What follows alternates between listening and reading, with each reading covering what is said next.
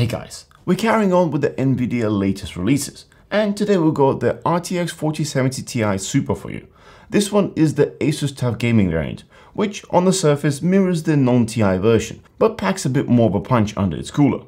The RTX 4070 Ti Super is particularly intriguing in terms of performance, so let's dive in and explore what it offers. First up some key details. The 4070 Ti Super cards are hitting the market starting at 799 US dollars, with partner cards like this Asus variant typically costing a bit more. Compared to the non-super version, this card boasts an additional CUDA cores, RT cores and Tensor cores, along with a revamped memory interface. We're looking at an upgrade from 192-bit bus to 256-bit, plus an additional 4GB of VRAM. I think this change will be most noticeable in 1440p and especially 4K gaming. But before we delve into gaming performance, let's discuss this card's power consumption and efficiency.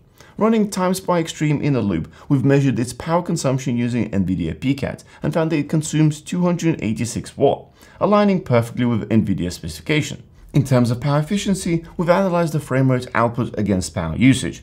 Here, the new card finds itself comfortably in the middle of the pack, alongside AMD's RX 7900 XT. Regrettably, we don't have the original 4070 Ti for the direct comparison, so our video will focus on how this card stacks up against the other market contenders, and the 4070 Super that we reviewed last week. Before going into the gaming performance, let's kick off with the V-Ray test.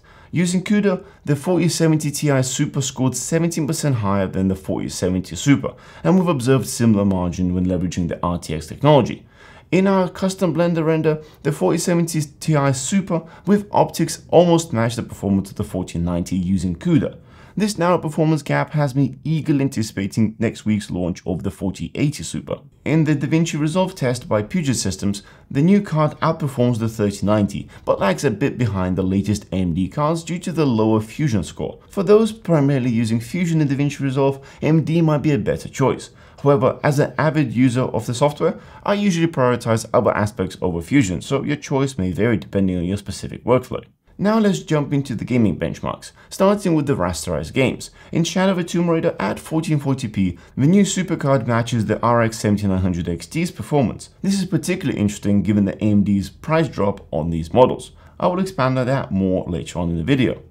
At 4K resolution, the 7900 XT takes a 4% lead in average FPS and almost 5% and 1% lows. It's not a huge lead, but win is a win. Next up is Horizon Zero Dawn. At 1440p resolution, we see 4070 Ti Super outperform both AMD cards by 10% and 3% respectively on average FPS.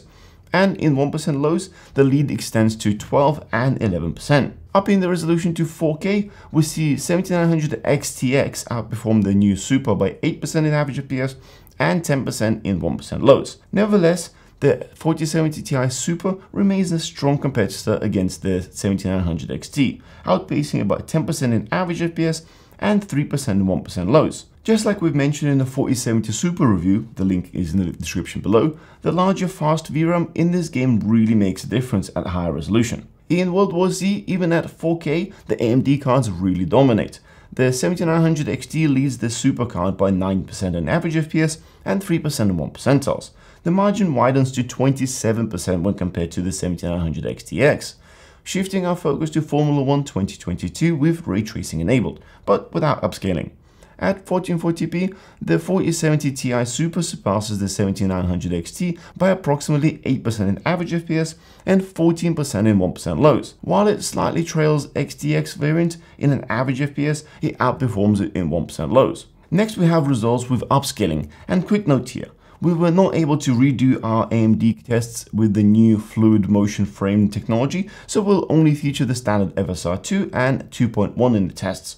So in Formula 1 2022 at 1440p, we see very similar average FPS from both 4070 Ti Super with DLSS 2 and 7900 XT with FSR 2 enabled. However, AMD card struggles with the 1% lows. Enabling DLSS 3 changes the story, and now the new card is ahead of others, but we're missing the AMD results, so we can't really comment here. In Cyberpunk, we can jump straight into the 1440p with upscaling enabled, and here at the top of the chart is just dominated with the NVIDIA cards. The difference from 7900 XTX to 4070 Ti Super using DLSS 2 is 22% on average FPS and 8% on 1 percentiles. This is the more expensive AMD card, so the difference is pretty significant. When going up to 4K, the difference widens to 29% on average FPS and 25% on 1 percentiles. What is probably more important here is the actual frame rate. With the new supercard, you can maintain your frame rates above 70, and unfortunately with the AMD card, you'll have dips to 46. This is not taking DLSS 3 into consideration. We'll incorporate AMD's new fluid motion frame technology in the future tests, but at the current stage, even without looking at the frame generation, at best, the cards are competitive, and at worst Nvidia cards just run laps around AMD's offerings. Responding to the requests from our last video, we've also included some temperature data for components like memory, VRM and hotspots. These are from the custom burn-in test on the card when we push it as hard as possible for about 15 minutes. I would say this particular cooler design is doing well to control the temperatures here. For future content suggestions, feel free to comment below. Now to close this off, AMD recently announced price cuts on 7900 XT cards, with some brands offering them for $750 or even less. We've even spotted deals as low as $720. This pricing shift makes it challenging to outright recommend a specific card, but here's our take. For those who want to play slightly lighter titles or just standard rasterized games, the 7900 XT is probably the better value card right now. In contrast, the RTX 4070 Ti Super caters more for gamers seeking enhanced ray tracing and upscaling capabilities. The other big thing is the extras you get with the card. Nvidia has been actively advancing its capabilities in AI and streaming technologies, so if your usage extends beyond gaming, considering Nvidia might be a more suitable choice. Overall, I'm glad that there are options in the market and it's encouraging to see both companies actively competing. If you want to check out any of the items covered in the video, the links are in the description below. I hope you found this useful. Don't forget to smash that thumbs up and subscribe for more. We'll see you guys in the next one.